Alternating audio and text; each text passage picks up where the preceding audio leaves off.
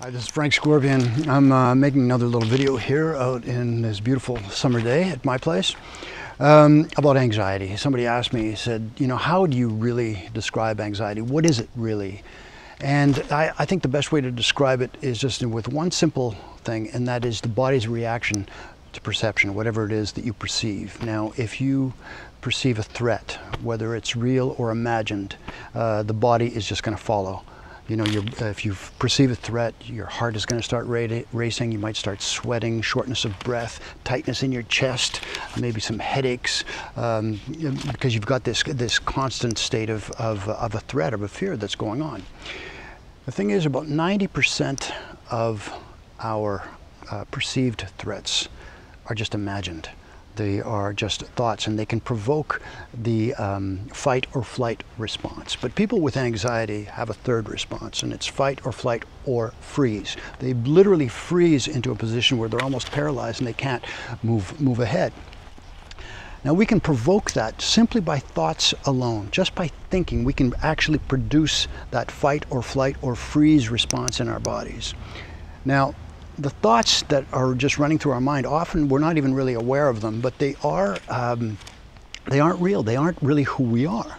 So there's a really good exercise that you can do that I can prove this to you is that first of all, just sit down, take take a, uh, some time to write down some of the fearful thoughts that you've got about. You might have a fear of confrontation, you might have a fear of losing somebody, you might have a fear of sickness, you might have a fear of poverty, you might have a fear of of gaining weight or not being able to lose weight, or you have to. Um, uh, take a risk and, and you're just too afraid to do it, or whatever it is, something that keeps you stuck, something that you're afraid to do or afraid to express. Just write those thoughts down. Just put them on a piece of paper and put that to the side. Now grab a chair, just sit in a chair somewhere and just close your eyes and just take a few deep breaths and just bring your awareness back to your body. Now put your awareness, with your eyes closed, just put your awareness on your right foot. And be aware of your right foot. Now move your awareness over to your left foot. And once you've done that, you've stayed there for a while. Now just move your awareness to your right shoulder.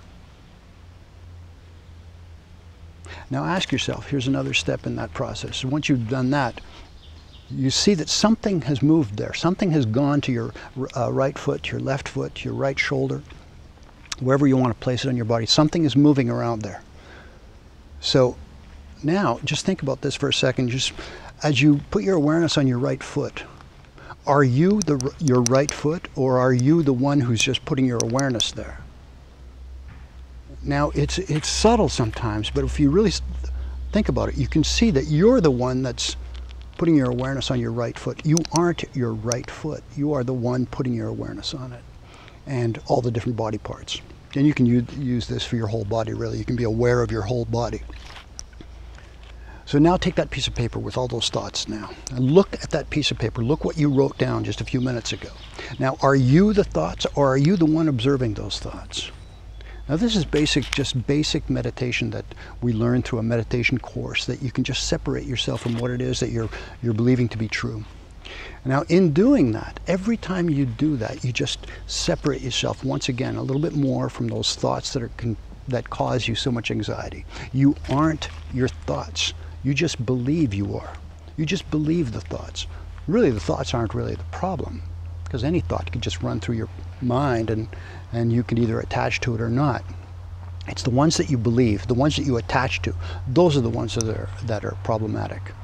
So uh, it's a quick exercise. Try that, see the, how that works.